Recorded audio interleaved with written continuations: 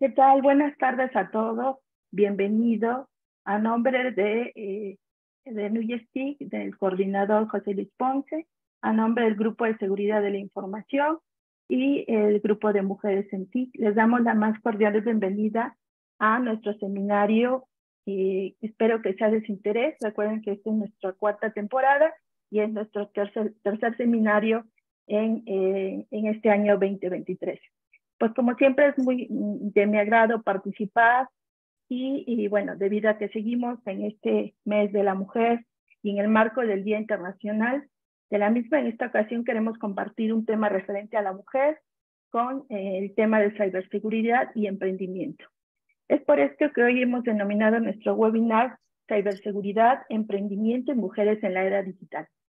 El emprendimiento y las mujeres en la era digital son dos temas que están estrechamente relacionados. En la actualidad, gracias a la tecnología y a la digitalización, las mujeres tienen acceso a una gran cantidad de herramientas y recursos para crear y desarrollar sus propios negocios. El emprendimiento femenino en la era digital se ha convertido en una importante fuente de creación de empleo y riqueza. Las mujeres emprendedoras están aprovechando estas oportunidades que ofrece la tecnología para crear eh, negocios innovadores y rentables y están desafiando los estereotipos de género en el mundo empresarial. A pesar de estos avances, de estos emprendimientos, eh, todavía hay desafíos que enfrentan muchas de ellas, como el acceso limitado a la financiación y a la falta de acceso a redes de apoyo y mentoría. Sin embargo, cada vez hay más iniciativas y programas que buscan fomentar el emprendimiento femenino y apoyar a las mujeres en la creación y gestión de sus propios negocios en esta era digital. Y bueno, además la tecnología también ha eliminado las barreras geográficas y culturales, lo que significa que las mujeres emprendedoras pueden acceder a mercados globales y competir en iguales condiciones con otras empresas.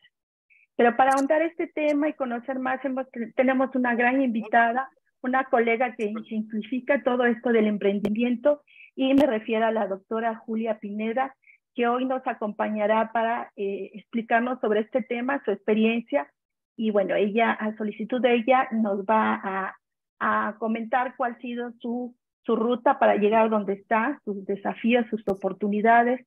Ella es directora de seguridad de la información de Cyber IoT. Eh, eh, antes de cederle la palabra, recuerden que nos pueden dejar sus preguntas, sus comentarios en la parte de abajo de la plataforma, en el área donde dice preguntas y respuestas, y con gusto al final nuestra, nuestra invitada eh, las contestará. Adelante, eh, Julia, muchísimas gracias por tu apoyo y te cedo el micrófono. Hola, ¿cómo están todos? Vamos a hacer esta sesión bastante liviana, no se me vayan a, a dormir. Va a ser muy rápida, voy a defender dos, tres puntos, concluirlos, ¿no? Tres problemáticas, ciberseguridad, Emprendimiento y mujeres, ¿no? Qué interesante. Eh, agradezco como siempre a la Nuyes, eh, a TIC y mujeres piquen a Nuyes por esta invitación. Eh, estoy viendo por aquí para ir viendo sus preguntas. De hecho, hay una sección, ¿no? Voy a, voy a dejar más espacio de preguntas para que tengamos tiempo de platicar, ¿no? De, de discutir los temas. Y como dijo bien mi tocaya, mi colega Julia. Eh, la ciberseguridad, ¿no? el tema es ciberseguridad, emprendimiento y mujeres en la era digital. Ha pasado mucho, ¿no? Ya, ya decir que la pandemia nos volvió digital, eh, esas palabras. Yo soy medio irreverente, así que no se me espanten. Le dije, ¿sabes qué? Sí, cuando hago pláticas de emprendimiento, no lo había hecho de este modo con la nube, se empezó más formal, más académico, más técnico, pero he dado pláticas de emprendimiento, tipo Ay, me invitado tal vez, me han invitado mucho a lo que era Talentland, alguna vez una plática de TED, y por ahí hubo unas, que, que el ah, un, un, evento que es el TED, que se llama Nick, me invitaron por el 2018, 19, no, recuerdo bien, ya hace tiempo. Entonces pláticas las llevo más livianas, no más de, de qué está pasando, qué vamos a hacer, en fin, muchas cosas. Para no, para que no se corte mi voz, quito tantito mi pantalla, mi cámara. Em, Pues como bien dije, vamos a ver esto cómo me funciona. Aparte, es la primera vez, estamos aprovechando hoy. Estoy utilizando una herramienta que conjuga ChatGPT con DALI y por ahí han escuchado, ¿no? Y, este, y no es que me haya hecho la presentación, sino me he hecho las imágenes. Así que si ven con algún errorcito, pero si estamos en emprendimiento hay que atrevernos a todo, ¿no? Y hay que ver cuáles son las nuevas herramientas, no sustituciones, ¿eh? Porque hay muchos temas ahí. ¿Cuáles son las herramientas que nos van a ayudar a enfocarnos en lo que realmente importa y cosas como esta de presentación, figuras, que las hagan ellos, ¿no? Nosotros no le damos una revisada que todo quede bien.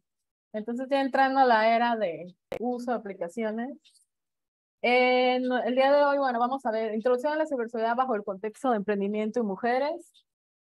Emprendimiento, mujeres en ciberseguridad, ¿qué desafíos hay? digo, son tres temas, tendencias, conclusiones y sección de preguntas. Entonces vamos. Introducción a la ciberseguridad. Bueno, es una preocupación, ¿no? Hoy en el 2023 no hay día que yo no vea una noticia de que le sacaron datos de que les bajaron dinero, de que les están secuestrando información, vaya. Y digo, en pleno 2023, ¿sigue pasando estas cosas? Sí. ¿Van a pasar? Sí. No estoy hablando de ciberpolítica, ciberguerra, no, no. Lo que está pasando en empresas grandes como Ferrari, como aerolíneas, como hospitales, que dices que tuvieron dos años para invertir en cuestiones digitales, pero no invirtieron en ciberseguridad, ¿no? Entonces, hoy en pleno 2023, esos errores tan absurdos como no ponerle una doble pantalla de identificación, una cuestión muy fina, como dejar por ahí usando, bueno, esta plática de emprendimiento, yo uso chistecillos, ¿quién no conoce a Marta de Baile, no? ¿Y qué dijo en su último que se hizo viral la señora con el bote ese de las latas? El diablo está en los detalles. Pues me uno a esa frase y lo utilizo en ciberseguridad. Aquí realmente sí está el diablo en los detalles, ¿no? En los detalles de que por no tener un simple bullet activado en mi gestión o administración de la red, adiós, ¿no? Entonces, regresando a mi presentación, aquí te de resumir. La ciberseguridad es una función cada vez más importante en la digital, especialmente para las empresas, las organizaciones que manejan datos sensibles y valiosos, Además, el emprendimiento y la innovación en la industria, ¿no? Son claves para mejorar la protección en línea. En este, en este contexto, también muy importante, cabe destacar la presencia de las mujeres, no solo dentro de una empresa, sino emprender, y no nada más emprender para hacer dinero, sino emprender para crear algo nuevo, que porque lo de hoy no está sirviendo, claro, ganas dinero y poder compartir esa eh, ¿cómo se llama? Ese conocimiento, ¿no? Entonces, emprender no solamente viene en el ámbito de que va, va otro chistecillo por ahí, no, me hago este, ¿cómo está ahorita de moda los traders? Y que también ya para abajo ese tema. Uno sube, uno, es que no es lo mismo invertir en acciones ya conocidas que en todo, la locura esto de las criptomonedas, ¿no? Hay muchos riesgos de seguridad ahí. No es lo mismo emprender en esa parte porque nada más es bien dinero que emprender. Está muy, Aquí voy a hacer un paréntesis. El concepto de emprender está muy asociado, sí, a negocios, pero también puedes emprender a manera de estarle buscando, ¿no? Buscando que una nueva solución ante esta problemática. ¿Por qué las mujeres? Voy aterrizando. Porque nosotros tenemos un poquito más esa capacidad de comprometernos. No digo que las otros géneros, ¿no? Porque ahorita hay millones de géneros. Este, sí, sí, ahorita acabo de descubrir que yo soy mujer cisgender. Ándale, pues. Que me identifico totalmente como mujer, Hershey. Y lo saco la plática, ¿por qué? Porque estamos hablando más bien de enfocarlo a las mujeres, sino a la diversidad y emprendurismo. Pero me voy a ir un poquito más delimitado, mujeres. Mujeres que llevamos años estudiando porque nos han dicho que no podemos. Mujeres que llevamos una preparación buscando siempre, por ahí dicen, emprender, pero en términos de es, este, ser un poco más camaleónica, cambiar hacia dónde. ¿Por qué? Porque tenemos, lo hemos visto como una desventaja, pero yo luego con una, una ventaja. Nosotras cambiamos porque siempre nos están exigiendo más o no. Entonces eso nos da una ventaja competitiva hacia muchos caballeros, porque ellos, perdón, pero algunos ya lograron y se estancaron no están viendo lo nuevo. ¿Por qué? Porque ellos ya están aceptados socialmente, ¿no? Y es una realidad que junto con, por ahí tuve también un, un webinar el, el, año pasado, donde invité a la maestra Erika, que, que es de Mujeres TIC, y invité a Norma Cerros, que está haciendo ahorita mucho ruido sobre eso, ¿no? No importa qué carrera, las mujeres debemos de, de resaltarnos, ¿no? Ver por nuestro sueldo, por qué tenemos que aprender más.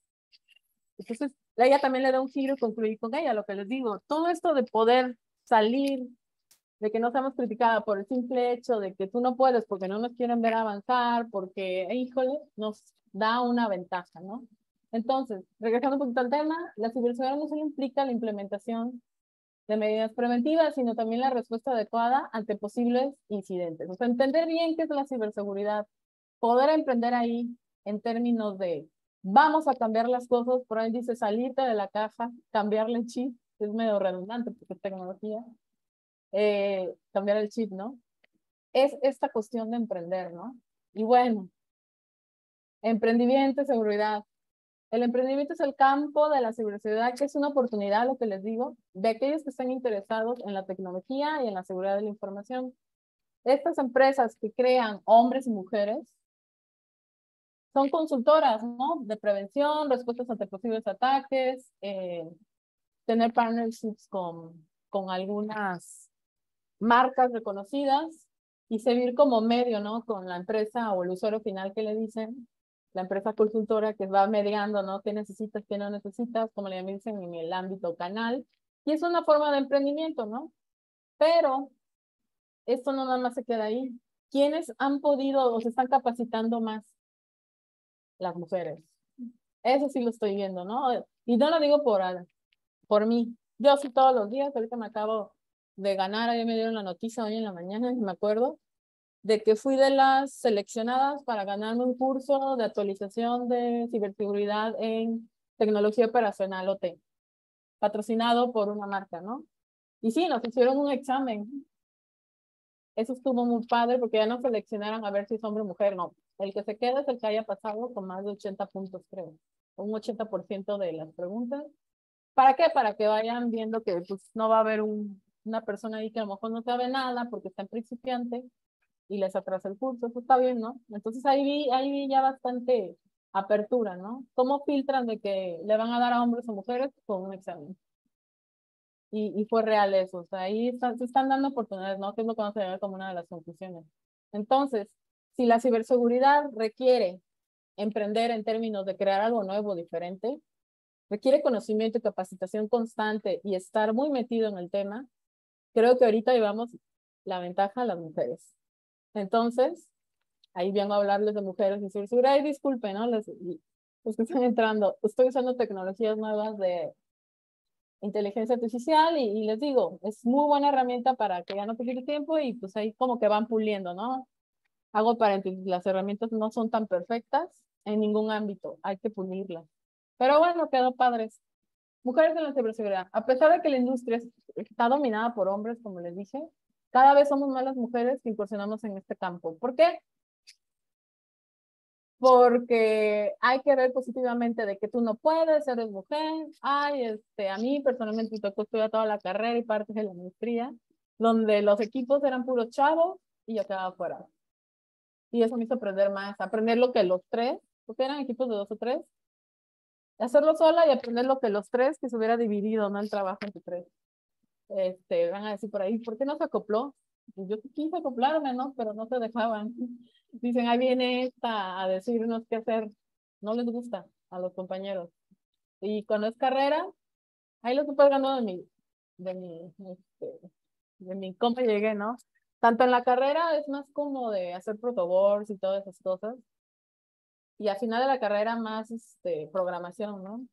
No, en programación ni les digas nada, son, se creen totalmente dueños, ¿no? Hay, todo decir que uno que otro sí, sí quería, pero en la maestría se vuelve más porque, veces mi experiencia, porque ya son más grandes, o sea, no son de tu era generacional, puedes tener compañeros más grandes, que a lo mejor en la maestría ya eran compañeros de trabajo y tomaron la maestría por, por tener esta capacitación extra, entonces empiezas a encontrar esos problemitas, no quieren trabajar, y en la maestría son temas más de, me tocó a mí, temas más de programar, más de crear escenarios en MATLAB, en lenguaje C, en Python, ¿no?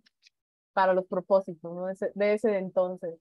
Entonces, regresando al tema, sí, tenemos esa ventaja de que aprendimos por todos los equipos que no nos quisieran incluir, porque siempre fui en la carrera tres mujeres de treinta y tantos chicos, en la maestría dos de quince, ¿no? Imagínense. Entonces, sí, terminaba haciendo equipo con la chica o raramente había profesores, ojo, que sí decían, tienen que incluir a una chica en el equipo. Se hacía la inclusión forzada, ¿no?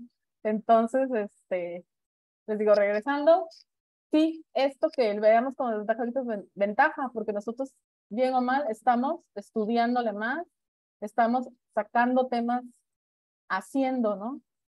Entonces, ¿cuál es la importancia de la ciberseguridad y emprender? Emprender en cosas nuevas. Las mujeres tenemos un poquito más esa habilidad, porque por ahí dicen, no, lo que te castigaba ahora es bueno, ¿no? ¿Y cuál es lo esencial? ¿En qué podemos trabajar? Un tema que ahorita sigue siendo y será para toda la vida es el análisis del riesgo. Y el análisis del riesgo involucra detectar como primer paso tus activos y de esos activos identificar todas sus vulnerabilidades. Está bien fácil la fórmula y los pasos a seguir, pero fíjense que no lo hacen. Por tiempo, por decida, porque eh, lo tenía que hacer de 5 a 6, me atrasé y a las 6 me voy por muchas cosas que pasan, ¿no? A muchos niveles. Por falta también de personal, a veces le quieren cargar todo ese trabajo. En general estoy hablando al administrador de la red y pues no, hay administrador de red y hay gente de seguridad. O el, el área de seguridad ya está sobrepasada, o sea, tienen a su jefe más dos staff. Sin embargo, necesitan más gente, ¿no? Entonces a veces es por muchas cosas. Incluir en una empresa ya establecida o una, una empresa de servicio a la mujer, ¿cuál es la ventaja? En que siempre son, por lo que ya les conté, más dedicadas, más encontrar la cuestión de, mira, vamos a hacer esto, más organizadas, ¿no? Por ahí un estudio en el 2020 de esta organización que se llama ISC, de la uh, certificadora del CIS, que hizo un estudio, ¿no? Sí, existe un 24%, ya de haber subido un treinta y tantos por ciento de mujeres en ciberseguridad, de las cuales todas las empresas, dentro de una empresa, ese 24% a nivel, bueno, los países que analizaron, solamente están tomando en cuenta un 8% de mujeres. 2020. Por ahí volví a ver la actualización o gente que sigo que está muy metida con sí que ese 8% subió 20, 22. Lo ideal es que suba a 50, ¿no?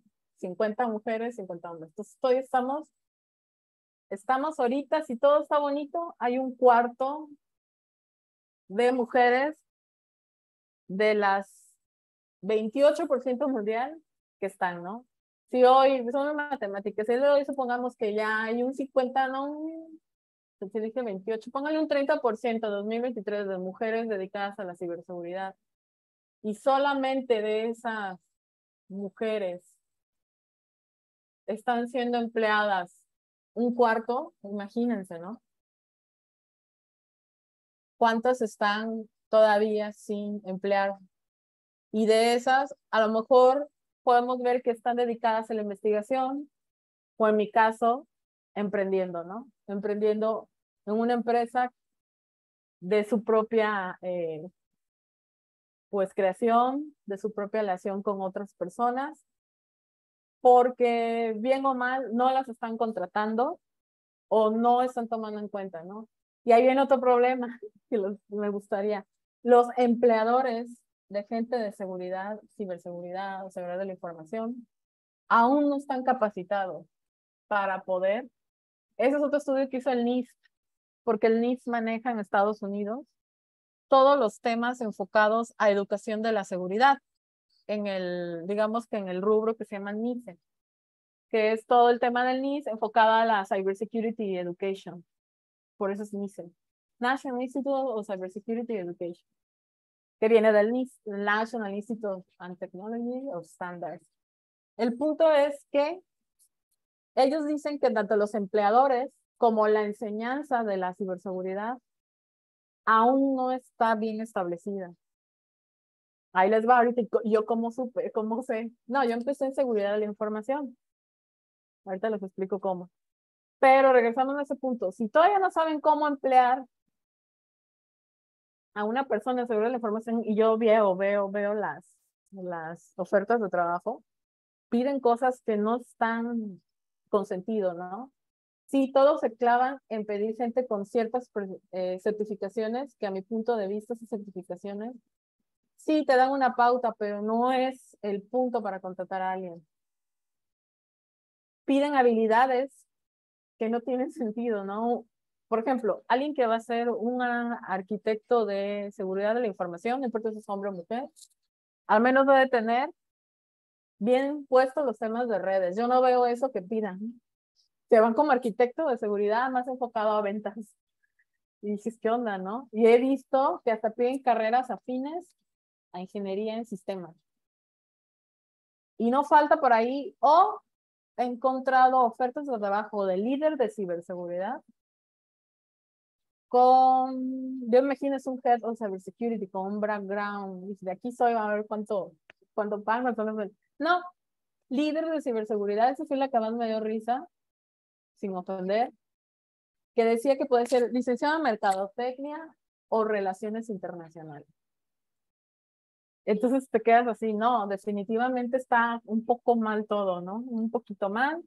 En Estados Unidos se han estado preocupando desde ese tiempo y les digo, no es que tampoco sean un ejemplo a seguir, hay muchos ejemplos de países que están haciendo muchas cosas, como Australia, como Alemania, por separadito, España, Londres tiene, bueno, UK, Reino Unido tiene un centro de ciberseguridad con muchas cuestiones, ¿no? Que está sacando. El, Estados Unidos lo que es el NIST, la CISA, este, toda Europa en ISA, las cosas que hacen por Singapur están muy adelantadas allá, Dubai.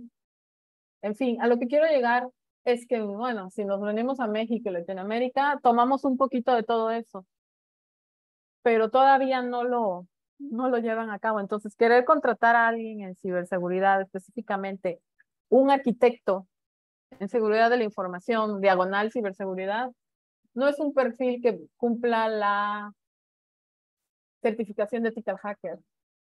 No, los ethical hackers, yo no he hecho la certificación, pero es simplemente alguien que va a aprender a hacer un pentesting.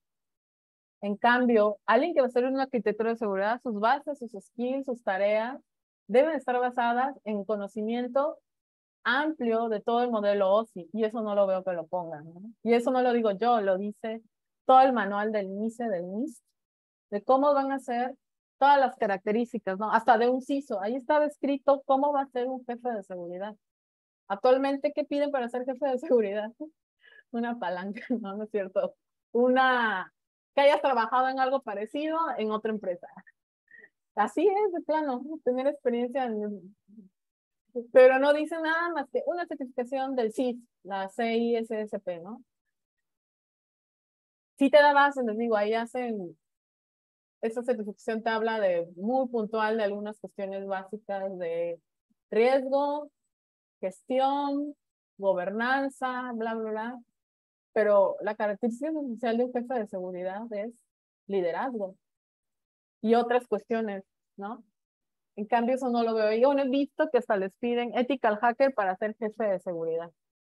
¿No? Entonces hay muchas cuestiones ahí. Ahora eso trata de esa falta de conocimiento y luego aterrizarla a que es un mundo de hombres mm, como una mujer nos ve raro, ¿no? Como que realmente tendrás y luego empiezan otras cosas, ¿no? Me han hecho entrevistas, por eso es un punto, no, yo emprendo, porque me han hecho preguntas, ni siquiera saben cómo contratarnos, y luego dos, te empiezan a hacer, como en todas las entrevistas, preguntas que el día de hoy, con todo lo que están haciendo algunos movimientos, ¿no? De gente más enfocada a la, al área de derecho, te van a hacer preguntas mí incómodas, ¿no? Este, ¿Tienes pensado embarazarte? ¿Estás casada? Al día de hoy eso ya, ya no, pero todavía se hablan de dos, tres, cuatro, hace diez años, eran preguntas realmente incómodas, ¿no? Que el día de hoy, el día de hoy si las haces, llegas a grabar esa entrevista, creo que sí podrías hacer muchas cosas, ¿no? Pero también es pérdida de tiempo, no se metan por ese lado de demandas y esas cosas. El punto es que si ni siquiera tienen tacto para tratar a una mujer en una entrevista, imagínate qué conocimiento van a tener para contratar a alguien. La carrera principal, ingeniería electrónica, ingeniería en sistemas, y luego irte delimitando a un área muy específica, que es la seguridad de la información, y luego bájate ciberseguridad, ¿no?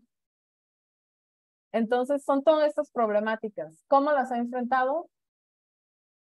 Híjole, pues a veces seguir adelante, ¿no? Seguir preparando. Eso te hace seguir preparándote, seguir viendo oportunidades, seguir viendo qué emprender. Al día de hoy, eh, nunca dije, nadie me va a querer este, publicar. Al día de hoy, publico el libro y luego les doy las, las, los tips, digo los tips, las lineamientos, cómo conseguirlo en Amazon este, empecé a hacer cuestiones de,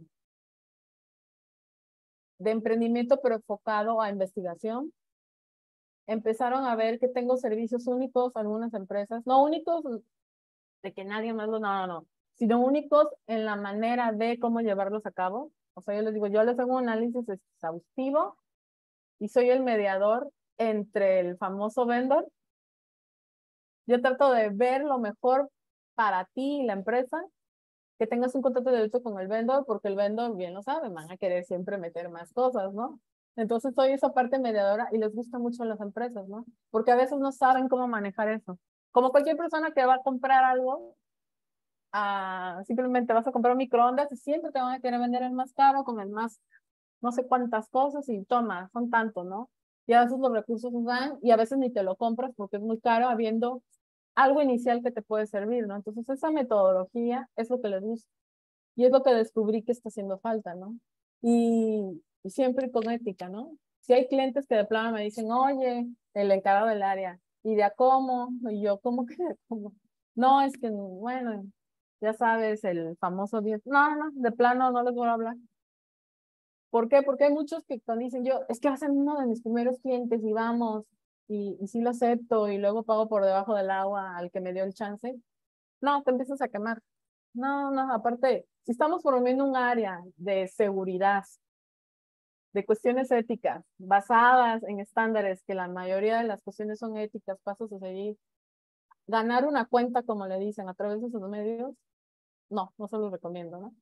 Y puede que tenga pocos clientes, por ahí dicen, pero bien peinados, que me ayuden después a crecer, ¿no? Entonces, no se vayan por las cosas fáciles, vayan por las cuestiones que sí tengan futuro, ¿no?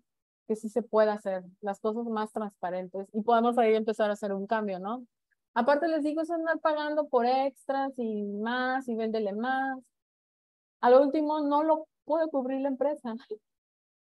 Y, y ahí queda un proyecto medio, ¿no? Entonces hay que hacer las cosas bien y hacerlos bien es en todos los ámbitos. Pues ya para no irme más para allá, me regreso. Entonces, conclusión de esta parte, ¿no? Tenemos mujeres, tenemos tecnología, seguridad de la información, ciberseguridad. Y de ahí las ventajas de ser mujer sin dejar otras que tienen eh, otros, el otro género, los otros géneros, es que como nos hemos esforzado tanto, ese esfuerzo ya está cumpliendo o ya está teniendo eh, ventajas, ¿no? Ventajas competitivas. Entonces, sí, si hay una brecha de género por todo el rollo que me eché de los porcentajes, eh, la brecha de género viene de esto, de una mentalidad de que eh, las mujeres en su casa en pandemia, otras, el señor trabaja, o las mujeres que me van a poder aportar si luego tienen hijos, embarazos, se casan, y como empresa no quiero, yo quiero alguien que esté constante. Todo eso involucra la brecha, ¿no? Y échale que realmente ves si esta persona tiene los conocimientos, ¿no? Pero ya saben que tenemos los conocimientos, nada más que hay muchas cuestiones, ¿no? Alrededor. Como les decía, el tema del que en la secundaria, la secundaria en la, en la carrera, con la maestría, no me querían equipos de chicos, pues también pasa en las empresas. A veces la, la, la chica de, eso les hablo hace cinco o seis años, ¿no? A veces la reclutadora, si tiene mucha expertise en contratar gente de ciberseguridad, me presentaba al equipo de todos los hombres chistosamente, ay, es que no sabía cómo decirme la chica cuando yo estaba toda emocionada, ¿no? Reclutador o reclutador. No, es que optaron por otro. Y sí le pedía, ah, pues dame un poquito de background o, perdón, feedback para saber en qué fallé, ¿no? Y no eran cuestiones técnicas, eran que el equipo, pues, quería un chico para poderse entender, para poderse decir, no, es que ya no va a venir esta a decirme qué hacer, ¿no? Quieren a veces, perdón, pero estar en el mismo plano, ¿no? Que nada más venga alguien que le dé órdenes y, y no diga nada. Y bueno, entonces regresando ahí al storytelling, del storytelling, conclusión. Es fundamental promover la inclusión de mujeres en la ciberseguridad, ya que a través de las formas de formación específicos, políticas, igualdad de género, simplemente se va a lograr fomentándolo, ¿no? Desde adentro, quitar ideas de que esta chica, pues mejor me va a quitar tiempo porque se va a embarazar, o me va a venir a decir qué hacer. En fin, tiene que empezar desde, o sea, una de las cuestiones que he visto tiene que empezar no solo del reclutador, porque tiene orden de cubrir la cuota de género, sino tiene que empezar desde los equipos de trabajo, quitar esa mentalidad. Un poquito también subirlo personal o RH y decir, no, pues que si se embaraza, no hay tantas cosas, ¿no? Hasta el papá se puede ir un, un tiempo, tres semanas, cuando tienen un niño, ¿no? Entonces también las empresas están con mucha apertura para poder, y se está viendo, ¿no? A lo mejor esto nos alcanza en dos, tres años, pero todo ha sido gracias a la lucha y persistencia, ¿no? ¿Y qué aporta una mujer en el área de ciberseguridad? Muchas cosas. Orden, yo siempre les he dicho, aporta orden. En el área de empresas, bueno, ahorita no me están dando trabajo, no me voy para abajo, como se dice, no me da el bajón. Entonces, por eso es que yo desde el 2017 dije, no, basta, vamos a formalizar y mejor creo una empresa, poquitos clientes, ahí voy subiendo. ¿Qué me va a hacer conocer más clientes? La forma de trabajar diferente, la forma de trabajar que vean que es muy eh, ordenado, basado en estándar. Para todo hay estándar. Lo importante es saberlos aplicar, ¿no? los estándares hay unos que son gratis, ¿no? Todos los del NIS, muchas recomendaciones de la CISA, puedes conseguir el estándar ISO 27000, ¿no? Por una módica cantidad. Y ahí está. Pero la magia lo va a hacer el consultor. Y si es una mujer, porque es muy meticulosa en leer los estándares. Ahora el área de risk compliance para todos los temas de seguridad de la información. Es muy interesante ver o descubrir que en quien les hizo un trabajo anterior, una empresa anterior, la mayoría chicos, señores, este, ¿Y por qué no cumplieron esto que aquí dice que hay que hacerlo, no? Pues no sé, contesta el cliente o alguien del equipo del trabajo de ese cliente. Pero es que aquí está, ¿por qué no lo vieron? Lo decía y también lo decía este. O sea, tienes que a veces cruzar varios estándares según la industria, según el, el, este, la situación, ¿no? ¿Qué estándares ocupas?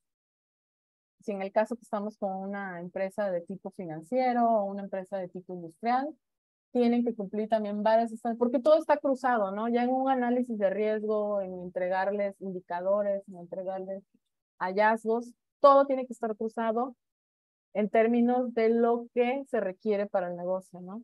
Entonces, todo eso, la verdad, nosotras somos un poquito más meticulosas y ordenadas, porque ¿quién lleva la casa? yo no soy toda mamá, no estoy casada, pero ¿quién lleva todo eso en una casa? Una mujer, ¿no? El orden, los gastos, los niños, la escuela, ¿no? Pues para eso somos buenas.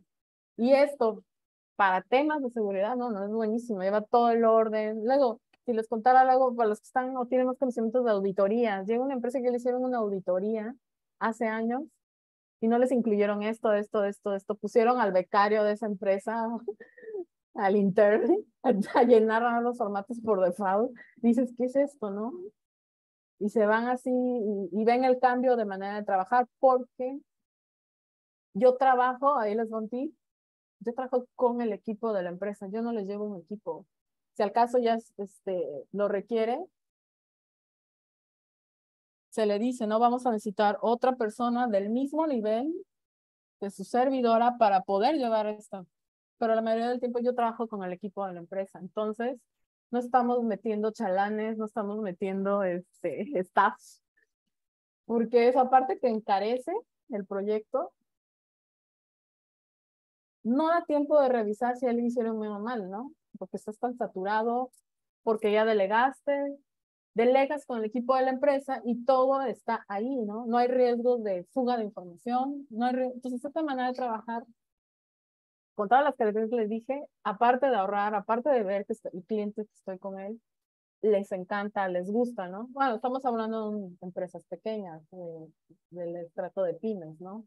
Entonces, que pueden tener poco personal en alguno de los casos o máximo grupos de 10 o a 16 personas, que es muy manejable y muy satisfactorio para ellos, ¿no? Entonces, esos son desafíos que tienen las empresas otros desafíos en el ámbito de ciberseguridad, de emprendimiento, mujer, bueno, es incentivarlas, ¿no? Es incentivarlas para que sigan con programas de formación, dar becas. Esta beca que les digo que me gané viene de tres empresas estadounidenses.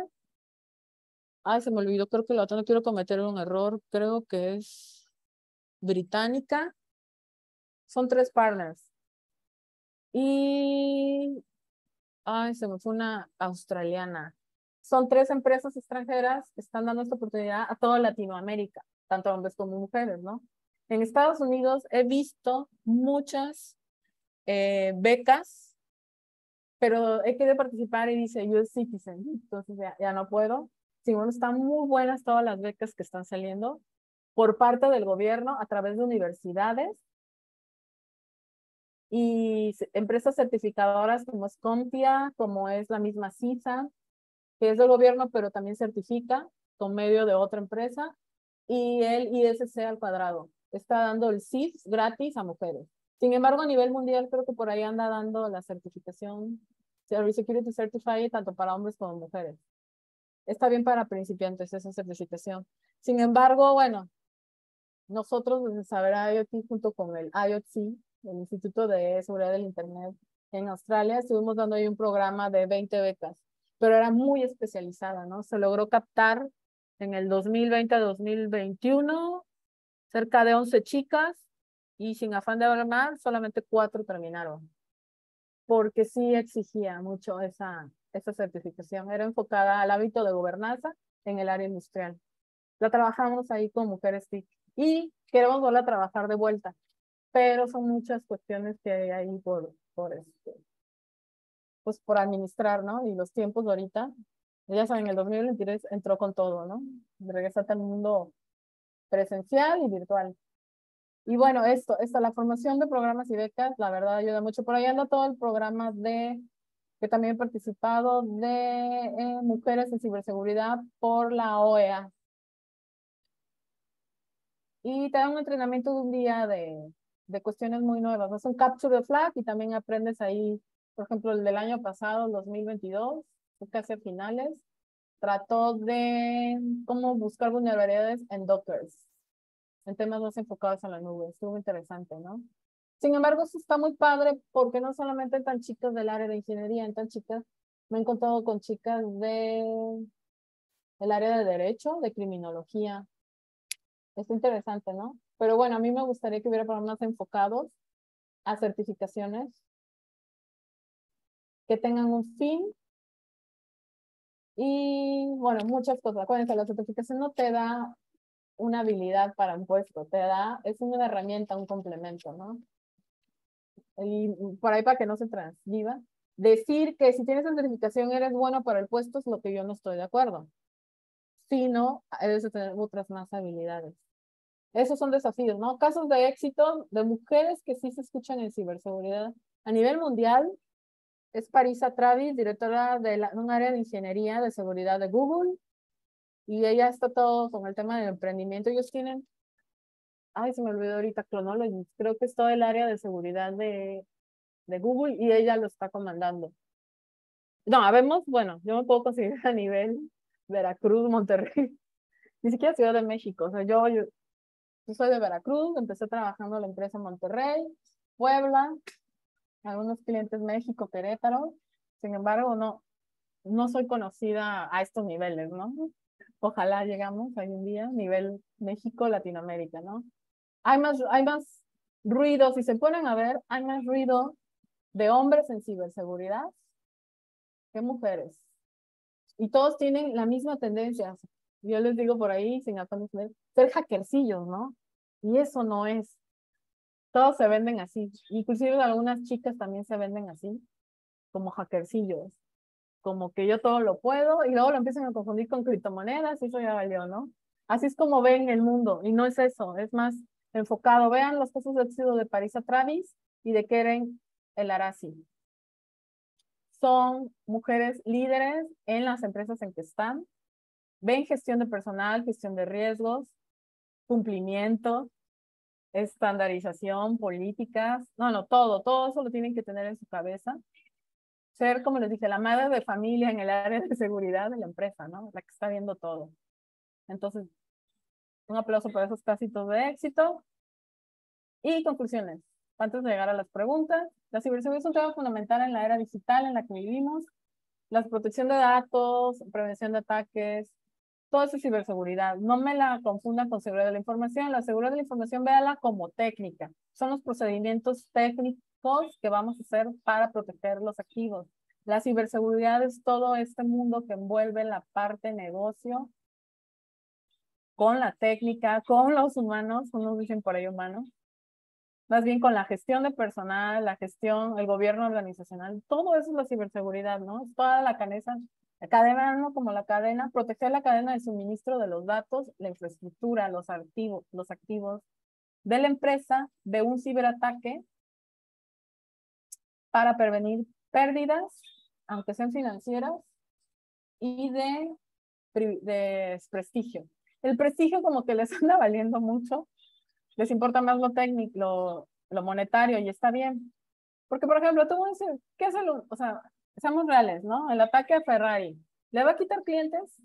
No, porque no tiene sus clientes esa conciencia de que la brecha de datos que tuvieron es importantísima, ¿no? O sea, llevan ahí los nombres de clientes, tarjeta de crédito, pero no lo ven. Yo dejaría de comprar Ferrari, ¿no? Si tuviera esa posibilidad económica. No lo hacen, no lo ven, por eso les digo que les viene valiendo el prestigio. Sin embargo, lo económico no, porque bien o mal, se dio a conocer. Y tienen que rendir de cuentas si el headquarter está en Estados Unidos al gobierno de Estados Unidos, porque allá ya, ya tienen allá todo mejorcito, ¿no? Allá entre la CIA, el FBI, la, el Homeland Security, a través de la CISA, a ver qué pasó y sus respectivas multas. Y también te puede multar la Unión Europea porque es italiana y está pegada a la GDPR y otras multitas, ¿no? Entonces les importa más lo económico, que tampoco no veían esa parte de multas, ¿eh? Unos 10 años para acá ya les está preocupando porque ya, ya empezaron a legislar toda esa parte y ver cuestiones, ¿no? Entonces, ¿quién el día de hoy, hagan ese ejercicio, ha dejado de comprar algo porque tuvo un ataque cibernético? Una brecha de datos. Nadie, yo creo. Ni yo sigo comprando en Amen, no, no me gustan tanto, pero un chocolate en especial, ¿no? Hershey tuvo un ataque en el 2018. ¿Quién dejó de comprar Hershey's porque tuvo un ataque cibernético? Nadie, todo el mundo lo sigue comprando.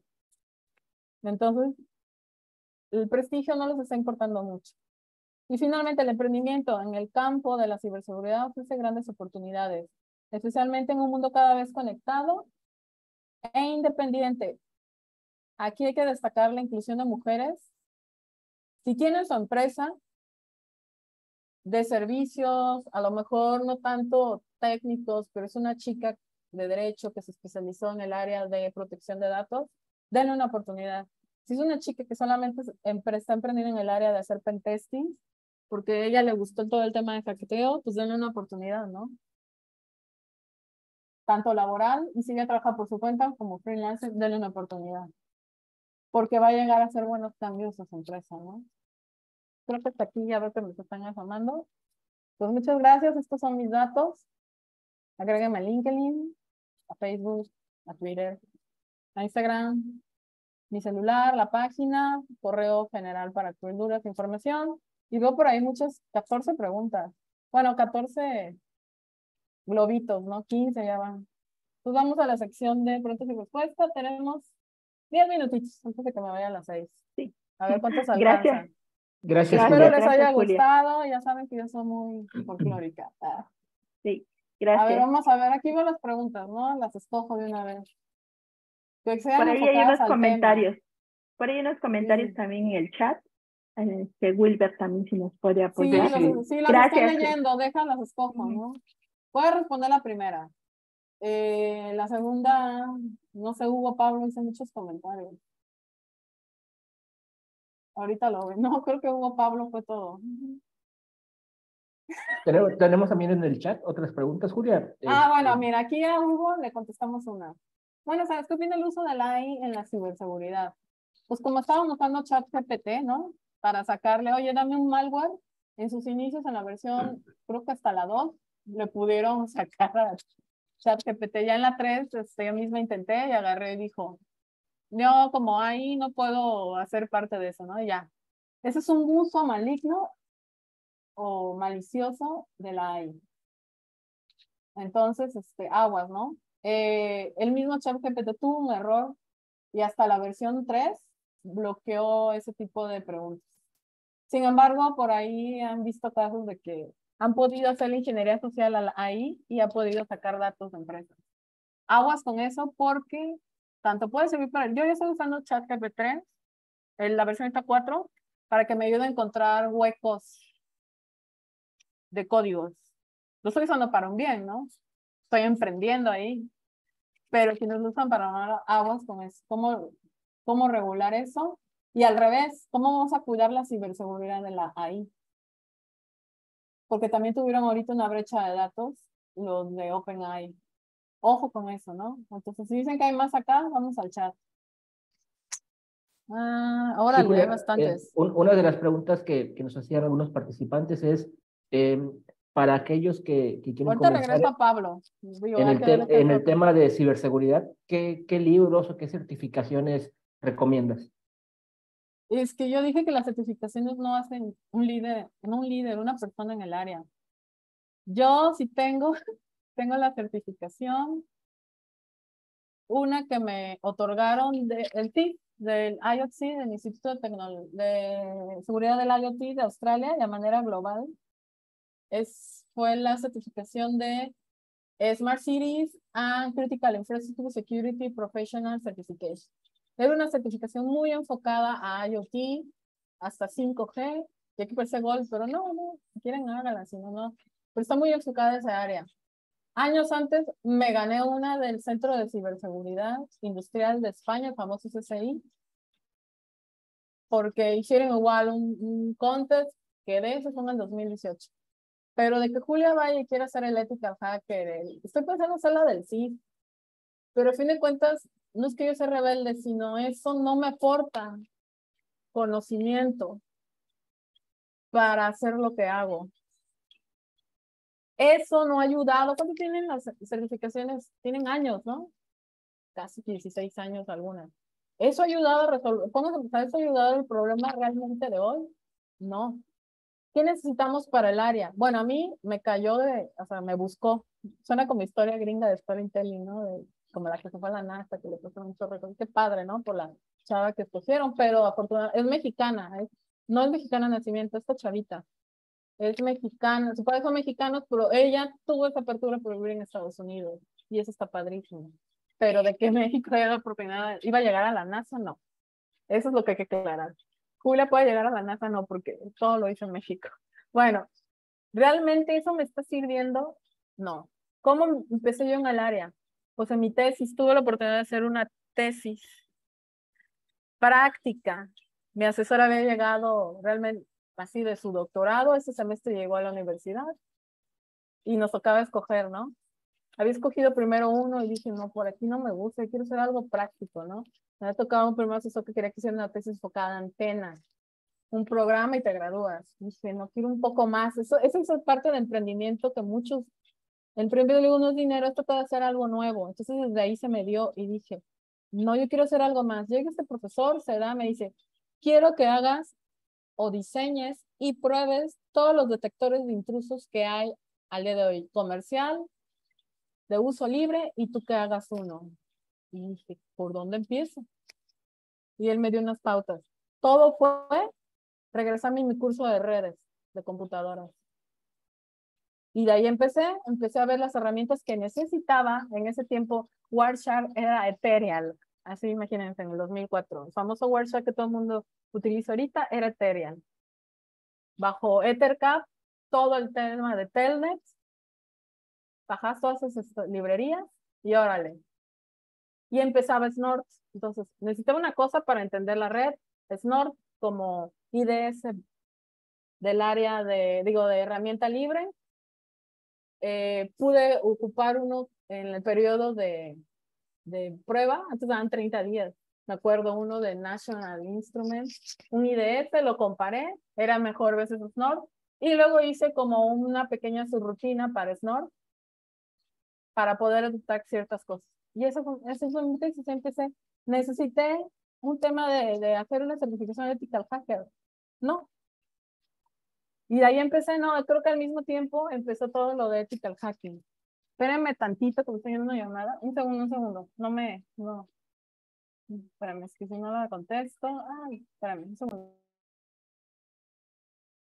Claro, en lo que Julia regresa, eh, queremos agradecer a todos los participantes el, el, día de hoy por su asistencia y pues también hacerles la, la más cordial invitación a continuar con la serie de webinars que seguiremos preparando desde el grupo de seguridad de la información de Anuystick. Y bueno, también les invito a visitar nuestro portal web que les voy a compartir en un momento por el chat. En dado caso que ustedes eh, tengan alguna inquietud o quisieran comunicarse directamente con el grupo de seguridad, tenemos una sección de contacto. Eh, con, con, todo gusto es, estaremos atentos para poder apoyarles. Muchas gracias. Regresé, ya regresé, ya, ya regresé. Ah, que ya anda Esta- por aquí. Sí, puedo atrasarme cinco minutitos más, diez. Entonces les decía, me agarró, me agarró esto y de ahí empecé.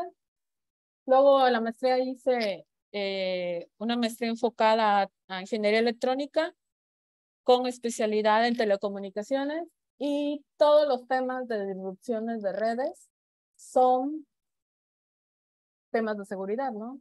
O sea, acuérdense que la triada básica de la seguridad de información es confidencialidad, ¿Qué otra? A ver, cuéntenme. Disponibilidad de datos. ¿Qué otra? Es la CIA, ¿no? Confidencialidad, integridad y disponibilidad. Entonces, yo estaba muy enfocada a la disponibilidad de las señales de redes celulares. Entonces, todo implicaba todo el tema de, eh, si no llega la señal, hay un problema de seguridad, nada más que si no lo vemos. Entonces, de ahí empezando. Eh, ¿Qué pueden atender hoy? Pues si tienes un, una ingeniería en sistemas, una ingeniería en electrónica y comunicaciones, que ya, ya casi hay pocas, o está volviendo, incluso una ingeniería en mecatrónica, puedes estar, porque tiene las bases de redes. Conclusión, alguien que tenga una carrera enfocada a redes. De sistemas te puedes eh, enfocar más al área de aplicaciones, porque estás en la capa de aplicación, a lo mejor en la capa de, este, de presentación, de transporte. Y alguien que está en electrónica, pues toda la pa- pa- capa física, red y, este, y data link. Es que data link puede ser de las dos carreras, la, cap- la capa de datos. Entonces, este, es entendimiento puro de la capa, de- del modelo OSI, ¿no? De redes. Alguien que es una arquitectura de seguridad, que no necesitan un licenciado en mercadotecnia. Eh, Sí, porque lo he visto, como lo vi. ¿Tú qué vas a ver, no? Es hacer arquitectura, una arquitectura de seguridad es, es proteger la, la infraestructura basada en un modelo OSI o TCP IP, desde el punto de vista tecnológico, ¿no? Si te vas por seguridad desde el punto de vista de derecho, muy simple, no me meto mucho en esa área, pues tienes, está más enfocada al área de criminología, criminología forense, pero sin embargo, luego llegan a mis cursos gente que quiere saber un poquito más de tecnología, porque no saben qué buscan. O sea, buscan a través de una herramienta, pero realmente saben qué están buscando. Necesitan la ayuda de un, de un ingeniero, ¿no? Entonces, como que todo eso NICE del NIS te lo plantea muy bien.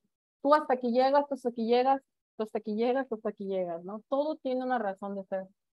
Entonces, eso es como para complementar cómo empezar, siendo muy, muy esa parte de, si eres tecnológico, tengas conocimientos muy bien del modelo OSI o TCP/IP, ¿no? Y para, si estás dedicada a ciberseguridad industrial, bueno, tienes que entender muy bien el, el mundo del PLC, sistemas de control industrial, escala, temas eléctricos y electrónicos. Por eso les digo que antes las carreras estaban muy buenas. Yo llevé, yo soy ingeniería electrónica y comunicaciones, pero todo el background de electricidad y electrónica lo tuve, ¿no? Entonces, eso me amplió el mundo para entender el día de hoy hasta tecnología operacional. Muchas veces han acortado las carreras porque así ha sido, ¿no? La vida, ¿no? Entre menos, más. Y las carreras de mecatrónica solamente ven temas de electrónica. Muy poquitos conocimientos de eléctrica. Y cuestiones así, ¿no? Todo ha cambiado, pero creo que esa es la base, ¿no? Este, no sé, otra pregunta por aquí. ¿Qué pues en qué carrera, no? ¿Caíste en las que están ahí? Creo que veo que, o sea, creo que esa sería mi recomendación, ¿no? Teresa Carrillo dice, ¿qué recomiendas como profesión de ingresada para en esa área? No, no sé, ¿tuviste alguna especialidad? Ahí, es que no está la carrera en ingeniería electrónica o ingeniería en, digo, no, no sé mucho quién está fomentando una carrera en seguridad de la información. Sé que la Universidad Autónoma de Nuevo León, sé que la Universidad La Salle, Maestrías en ciberseguridad seguridad de información hay, está más amplio, ¿no? Podrías llegarte a hacer una maestría. Y en mi caso, les digo, yo con llevar redes entendí por la experiencia que tuve el mundo de seguridad gracias a entender redes. Ya algunas universidades están teniendo un área específica de seguridad de la información. La UDLA tiene eh, la una especialidad en seguridad de la información, como materias extras, no extras, sino materias de especialización dentro de la carrera que manejan de electrónica y mecatrónica, creo. No estoy muy actualizada, bueno, de algunos planes de estudio, pero sé que hay algunas oportunidades, ¿no? Y por aquí, creo que esos jóvenes son bastante apoyo. Gracias, integridad. María, cursos de CNA, los principios. Sí, son los cursos de, de entender bien las redes, ¿no? Pero ojo, ahí va casado a una marca que es Cisco, de CCNA. Agárrate un libro, ¿no? Si quieres aprender más de TCP/IP, de protocolo ISO, 7 layers, 7 capas. Eh, por aquí, por aquí. Gracias, Mari. Este, por aquí, ¿qué otra pregunta que vean? Es que me estoy... Sí, sí hay una discriminación, pero porque vienen de muchas cosas. Muchas gracias. Entonces, todos los movimientos que vean formales, busquen a Norma Cerros y, y es una buena colega que conocí en el camino. Me la presentaron en un evento. Vayan a eventos de networking.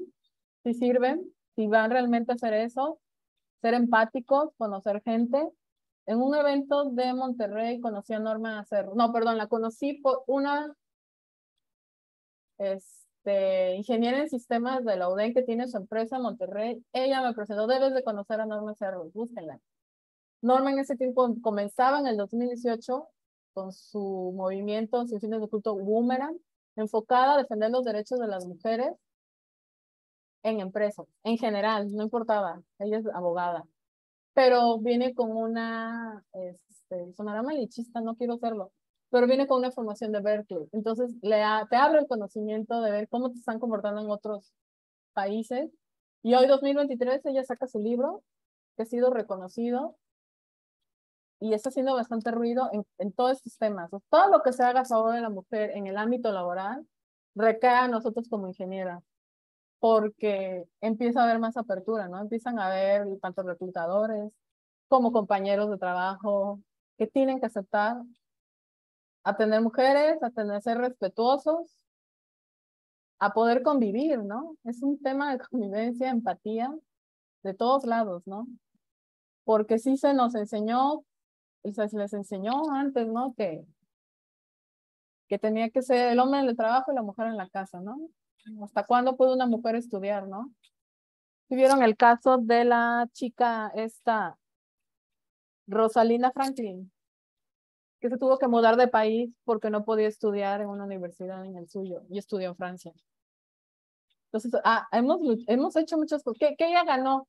Ganó pues estudiar y aprendió francés porque no podía estudiar en Francia si no sabía francés, ¿no? Sí, ella, Norma Cerro es la onda, porque está haciendo muchas cosas, ¿no? Luego la gente critica, ¿no? Pero está haciendo muchas cosas, está cambiando muchas mentalidades. Hay que ser agentes de cambio. Y eso nos recae a nosotras, a las áreas de, ¿cómo se llama? A las áreas de tecnología. Bueno, estoy viendo otra preguntita por aquí. Siguiente. o algo que ustedes hayan visto Estimada Julia, que yo no haya visto alguna pregunta de interés. Incluso si alguien quiere eh, tomar la palabra adelante, le cedemos el micrófono. Pero creo que, bueno, por lo menos lo que está en el chat son los eh, comentarios y preguntas que nos han hecho llegar. Saludos a Campos Querétaro, Superior de la Sierra Norte de Puebla. Por aquí, Pedagógica Nacional. Sí, hay gente de pedagogía, la mayoría de gente que estudia psicología enfocada al campo de, de recursos humanos, este, no está fácil darle un trabajo a una persona de tecnología, ¿no? Tienen que, pues de hecho hay este, muy especializados en el área de tecnología. Son otras aptitudes, otras cuestiones. Y hay todo un compendio de cómo contratar a gente en el área de seguridad de la información. Ahí se los pongo. Es el NICE, es todo el estándar NICE del NICE. Búsquenlo. Ahí habla de cómo enseñar la ciberseguridad, la seguridad de la información y cómo van a aprender los reclutadores a poder contratar a esas personas. Actualmente les voy a repetir, todo lo hacen en una certificación y qué es lo que hiciste en tu trabajo anterior, ¿no? no, pero luego, bueno, yo se me rebelde porque les digo que el día de hoy no está pasando nada interesante, todo está igual, y este, por aquí vamos a contestar otra, ¿no?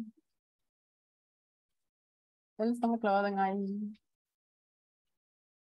¿Qué onda? Por ahí te manda este, la mesa Carmen Díaz. Agradece la información y todo el conocimiento. Hugo Pablo, eh, bueno, que nos ha hecho más preguntas para introducirse ciberseguridad. Es que ciberseguridad es el análisis del riesgo. Entonces, un libro, cualquier libro que hable de principios de cybersecurity risk management. Eso es ciberseguridad pública. Y nada más. Vieron ahorita lo que sacó, ¿no? El ataque de Guatemala Leaks ya tiene culpables y son insiders. Es un tipo de atacante, los que están dentro de la empresa creo que ya no salió que un, un miembro del ejército eh, dio paso a... Salió las noticias, ¿no? De la tarde, no alcancé a ver todo. Y eso viene a colación de la pronta comisión aquí de México, de los ciberataques. Lo manejaron como que había sido una empresa, digo una empresa, un grupo de cibercriminales extranjeros, ¿no? Que sí tuvieron la tuvieron el ransomware, pero para abrir puertas interiores tuvo que haber un insider, ¿no? Como pasó por ahí con Banjito también en el 2018. O todo el tema de que hubo del spray de pagos, sí hubo alguien adentro. Pero desafortunadamente para saber la verdad, no la vamos a saber. Necesitamos lo que ya tiene implementado el FBI, la CIA en Estados Unidos y todas las leyes, ¿no? Al haber un ciberataque debe de haber todo un equipo interno de la empresa, bien estructurado, que te diga de cómo y qué pasó, y va a haber gente ahí de legal, gente de cumplimiento, gente de riesgo, gente financiera, gente técnica, de que acepten que la regaron, den un reporte, decir hasta dónde llegó, ser lo más ético posible y aguantar las sanciones y las consecuencias, ¿no? Entonces es lo que está enfrentando. Lean todo el caso ahorita de Ferrari, de lo que pasó de Mondoles, la empresa esta de chocolates y galletas, Hershey, Sony, LG, todo lo que pasó en el 2018. Y cómo llevaron lo que pasó en la NASA en el 2019, cómo, cómo se llevan los casos allá ¿no? ante una corte y todo lo que le está pasando, por ejemplo, NASA era infraestructura crítica nacional, entonces a fuerza tenía que meterse eso ante la corte y todo lo que el ataque que hubo al Homeland Security hace como dos semanas. Entonces, todo eso va a la corte, lo analizan y ven hasta dónde llegaron todas las consecuencias, ¿no? Creo que ese, en mi humilde opinión, como dicen por ahí, debería hacerse, si tuviéramos todo eso implementado en México, se sabría la verdad de todo lo que pasó con el Guacamaya Leaks. Y estar tranquilos como ciudadanos, ¿no? Hasta dónde llegó información crítica a todo, a todo mundo.